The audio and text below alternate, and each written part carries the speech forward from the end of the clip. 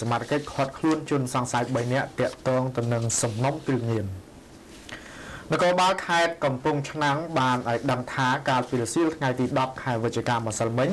យ៉ាងហោចណាស់មនុស្ស3នាក់ត្រូវបានគេឃាត់ខ្លួនពីស្រុកចំនួន2ក្នុងខេត្តនេះគឺស្រុកកំពង់ត្រឡាចនិងស្រុកទឹកផុសពាក់ព័ន្ធទៅនឹងសំណុំគ្រឿងញៀន លោកមៀស៊ីផិនអធិការនគរបាលស្រុកកំពង់ត្រឡាច បានប្រាប់ថាជនសង្ស័យមានឈ្មោះឈិនសំឡី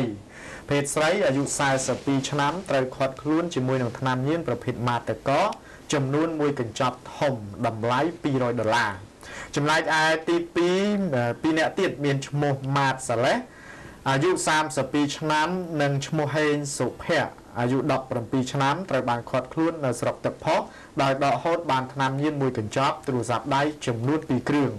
ជនសង្ស័យទាំង3នាក់ត្រូវបានសមត្ថកិច្ចនគរបាលស្រុកកំពង់ត្រឡាចនិងស្រុកទឹកផុសកសាងសំណុំរឿងបញ្ជូនទៅកាន់ស្នងការដ្ឋាននគរបាលខេត្តនៅថ្ងៃទី11ខែវិច្ឆិកានេះដើម្បីចាត់ការទៅតាមនីតិវិធី។